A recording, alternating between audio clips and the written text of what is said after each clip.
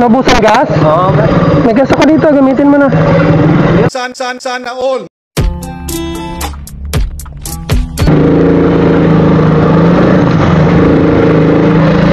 May nagtutulak mga partner oh.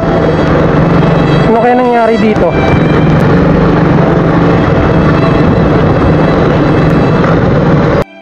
Oh no! Paps, ano nangyari Paps?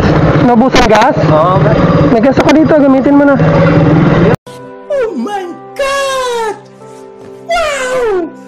Malayo pa na. Sige na, saglit lang, saglit lang. I-deliver ako dyan, oh. Buti na daanan kita.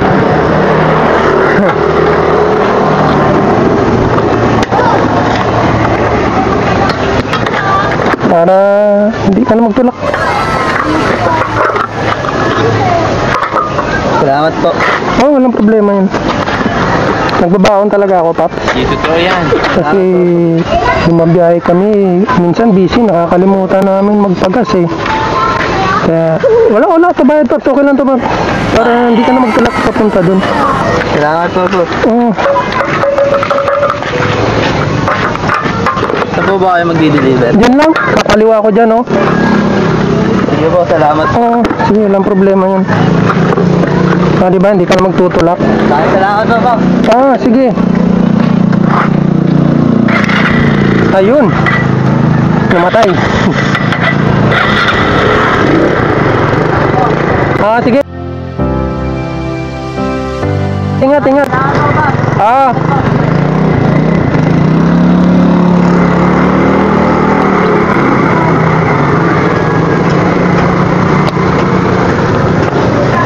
Ayun mga partner. Nakita nyo yung ngiti sa kanyang mukha. At sarap sa pakiramdam. Simpleng bagay lang yan mga partner. Pero yung mabibigay mo na saya. Kasi nga, imbis na mahirapan silang magtulak. Ayun na agad. Kumaliwa. Kumaliwa. Kabila.